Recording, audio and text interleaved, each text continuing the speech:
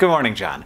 Every time people get frustrated with YouTube, I get a lot of messages saying, Hank, you make stuff, why don't you start a whole new competitor thing to YouTube? And ultimately, I feel like this comes down to a pretty central question when you're upset with a situation in your life. Whether this is about your government or a relationship or your online platform, do you revolt or do you reform? If you want to reform your government, you vote, you call your congressperson, you go to protests, you propose new ideas, you propose the removal of old bad policies. If you want to revolt against your government, you probably have to take down your government because you can't just leave, and usually that goes badly because the government doesn't want to give up power, and so people start to kill each other, and once you start to kill each other, really oftentimes the worst people are the ones who win. But on the internet, if you want to revolt, you could just go somewhere else, right? Maybe not. Here are six reasons why I I have no interest in leaving YouTube. One, it's actually quite good. Like the video player works pretty much every time. It transfers really seamlessly between my phone and my computer and my TV. And as a creator, I get to benefit from a gigantic audience and also the ad sales team of the second largest corporation in the world. Two, and I've thought a lot about this one, ultimately my problems with YouTube are my problems, not my audience's problems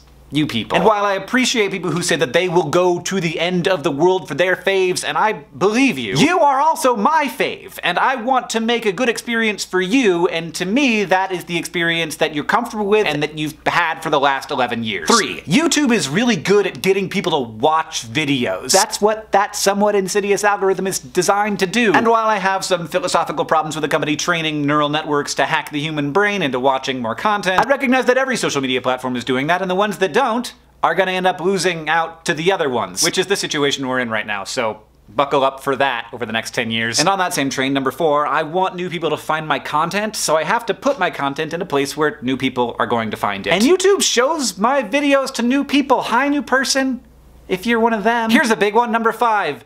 YouTube's problems aren't really YouTube's problems. They are the problems that any sufficiently big social video platform would have. You have to get advertisers bought in, you have to monetize for creators, and you have to be open enough that there's so much content being uploaded to your platform that there's no way you can review it all. The moment a new platform got big enough to matter, it would have all of the exact same problems that YouTube currently has. And I don't actually know how to solve those problems.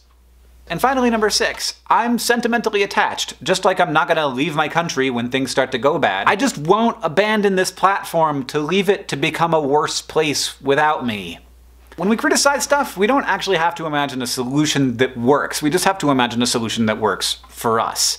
But communities, in real life or online are more complicated than that. They have tons of different stakeholders with different needs and different wants. When you get further into the details, you find that it's complicated. And I am not saying give in, give up, we're stuck. Obviously not. When you love a place, you should want to work to make it better. Imagining that you can just run away from all the problems into some new place where no problems exist is a self-indulgent fantasy. I care about this a lot. I'm willing to fight for a better YouTube. I know a lot of other people who are too. I think that's how you make a better YouTube, not by starting it from scratch, but by caring enough about a place to work for it.